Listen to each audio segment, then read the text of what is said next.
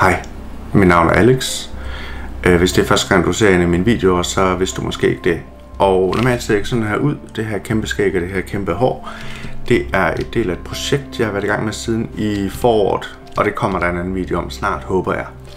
Men det jeg vil snakke om i dag, og grunden til at I måske klikkede på den her video, det er fordi, i går aftes skete der noget meget specielt, som jeg gerne vil snakke med jer om. Jeg vil gerne fortælle jer det. Øhm, jeg skal nok prøve at fatte mig i korthed og fortælle det hurtigt, og så må, vi, øh, så må vi se, hvad I synes.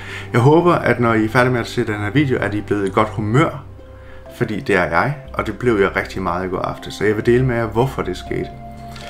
Øh, min kone og jeg, vi sad i går aftes og så en, noget live sport på tv. Det kan vi godt lide.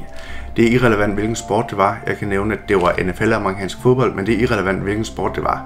Det har ikke noget med, hvad vi så i fjernsynet, det var, hvad, hvad, hvad der skete. Så vi ser den her kamp. Øh, kampen er rigtig spændende. Øh, det er ved at være helt, helt til sidst i kampen. Vi har set den i to timer, den blev mere og mere spændende. Helt til sidst i kampen er der få sekunder tilbage. Øh, det ene af holdene har lige udlignet, så øh, kampen kan komme til at gå i overtid. Der er 3-4 sekunder tilbage, og den sidste spiller, der har en chance for at ændre på resultatet af kampen, det vil sige, hvis han misser det her, det her sidste spark, er det så i det her tilfælde, hvis han misser, så taber de, hvis han scorer, så vinder de det her, den her kamp. Så det er helt vildt spændende. Min kone og jeg, vi sidder på kanten af, af sofaen. Øh, vi bider ikke negle, fordi det gør vi ikke. Men I, I kender den situation, hvor man sidder sådan, kom nu, kom nu. Øh, og så manden, han løber hen mod bolden, han sparker til den. Bolden, den forlader hans fod, og så... Sort skærm, ingen lyd. Øhm, og min kone, jeg kigger over på min kone, og hun kigger over på mig. Og så kommer jeg til at tænke på, hvad der... Jeg, jeg når at tænke, der går halvanden til to sekunder, jeg når at tænke en hel masse ting. Men det jeg tænker, der er, hvad skete der lige? Og så det der skete, det var, der skete en fejl et eller andet sted. Der skete en fejl, der gjorde, at optagelsen stoppede. Vi så live tv Øhm, på, øh, igennem vores Stofa tv-boks.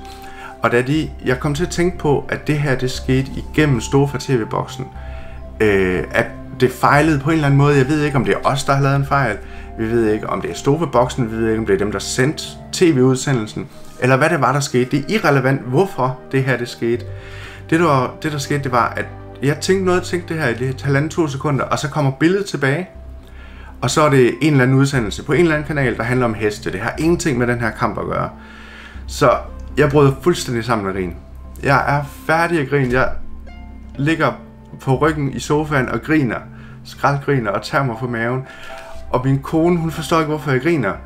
Øhm, og jeg forsøger at, at igennem min higgende grin at forklare for hende, at det her, det er for perfekt. Det, du kunne ikke time det her bedre. Altså, det er ligesom du ser i en eller anden Hollywood blockbuster film, eller en Amelie, eller en eller anden af de der film, hvor, hvor der er nogen, der sidder og ser fjernsyn, og så lige når det er allermest spændende, så ryger signalet. Og jeg synes, det var så morsomt. Og det blev endnu mere morsomt, fordi at det skete igennem et af vores Stofa-produkter. Og hvis I kender mig, og I har set mine videoer, eller lyttet til min Twitter, eller alt muligt et stykke tid, så ved I, at jeg har et lidt anstrengt forhold til Stofa. Øhm, men det, der skete i går, det var simpelthen så morsomt, at i stedet for at blive sur, så blev vi bare helt vildt glade. Vi blev simpelthen, det var så perfekt. Det var så smukt, at det skete. Vi fandt ikke ud af, hvem der vandt kampen. Der var 3 sekunder, 2 sekunder tilbage i kampen. Vi har stadigvæk ikke fundet ud af det. Det her, det er mandag nu. Det var i går aftes søndag, vi sad og så den her kamp. Det er mandag nu. Vi ved stadigvæk ikke, hvem der har vundet. Og det er ligegyldigt. Fordi det var ikke nogen af de hold, vi holdt med. Det var bare en spændende kamp, og vi kan godt lide så spændende kampe. Øhm, så vi var helt vildt glade. Vi slukkede tv'et, og vi grinede, og vi sad i sofaen og snakkede og hyggede os. Og så gik vi i seng, fyldt energi. Vi var helt vildt glade, og, øhm, og, og det var anderledes. Det var nyt, at i stedet for, at jeg blev sur og negativ over det her, det skete, så så jeg bare komikken i det. At det her, det kunne bare ikke, det kunne, vi kunne ikke time, vi kunne ikke planlægge det her bedre, end det vi gjorde. Og det var fantastisk. Så øh, det vil jeg dele med jer. Min kone hun kommer hjem fra arbejde, jeg kigger lige på uret. Min kone hun kommer hjem fra arbejde om en halv times tid, og så skal vi nok finde ud af, hvem der vandt den kamp. Det er sådan set ligegyldigt. Det har ikke noget med historien at gøre. Historien er, at der skete det her, og det var virkelig, virkelig sjovt. Og jeg lå faktisk, det var så sket, at jeg lå længe og kunne ikke sove.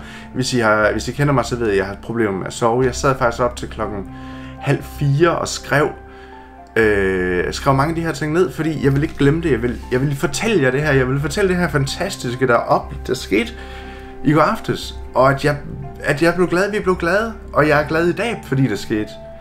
Så det vil jeg dele med jer. Og jeg håber, at I, er med, I er med, at I har set den her video, at noget af mit gode humør, jeg fik i går aftes, på grund af det her, er smittet af på jer. Og I nu er i godt humør. Og hvis I er det, så skriv det lige nede i kommentarerne på den her video. Ikke? Og hvis du stadigvæk sidder og ser med, så mange tusind tak for det. Det er jeg virkelig glad for.